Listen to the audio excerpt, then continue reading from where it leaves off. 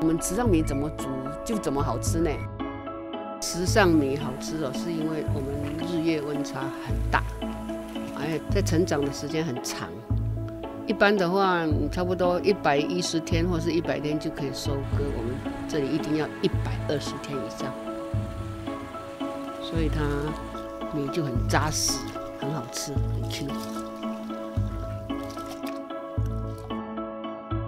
时尚米就是有米饭的米，还有做贵的米，还有再来米嘛。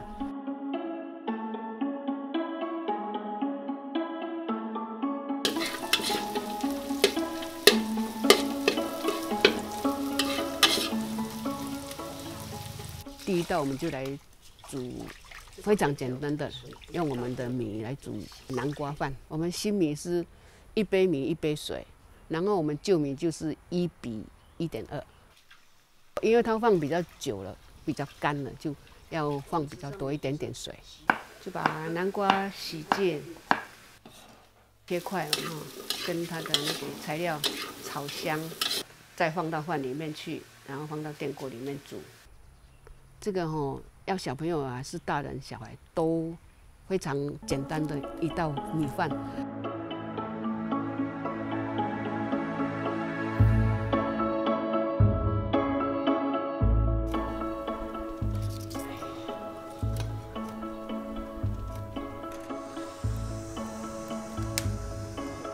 还有一道就是我们的那个蛙桂，蛙桂也非常简单，米浆。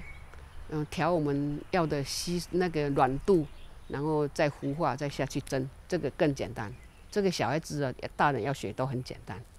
加一些我们自己晒的那个客家菜脯，菜脯就是我们第二期水稻收割以后，填空档的时候，我们就撒一些油菜花啦，啊，我就撒一些萝卜，然后可以采收我就采收，然后晒萝卜干。啊，那个油菜花就做绿肥，然后炒一炒，我们蒸到差不多半熟的时候，就把它撒在上面。撒在上面的时候，它咸度一点会拖进那个柜里面，然后等一下再切的话，放一点酱油膏就很好吃了。开啦，烘起来了，就差不多熟了。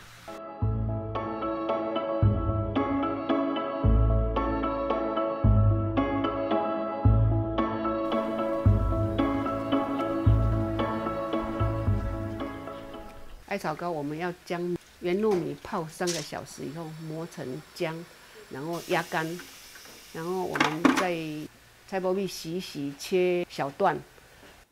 猪肉炒干了，然后再加红葱头、虾皮，再炒香了，再加我们菜脯米，炒一炒调味，就当馅料。我们的膏压干以后拿起来，就加糖、加艾草，搓揉。揉成团以后包馅下去蒸，这样就 OK 了。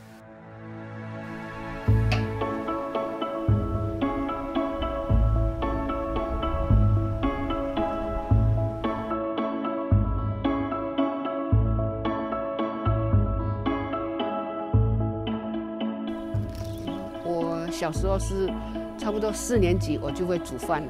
他就爸爸妈妈工作。我们就放学回来，我就开始学煮饭。到差不多小学毕业，我就开始学煮菜。然后后来呢，跟那个外汇的办桌，出去外面办桌，哎，看到一些那个我们家里很少吃到的东西，然后回来就试煮试煮，这样小孩子吃的嗯津津有味。那时候就开始爱上这个料理。台东的小孩就是会做菜。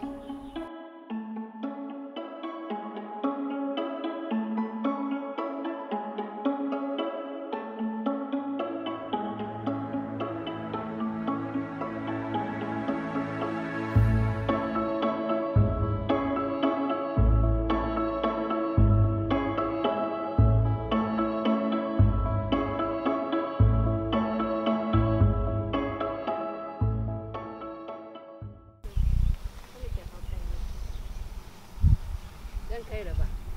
这样可以了哈？我这样可以吗？好棒哦。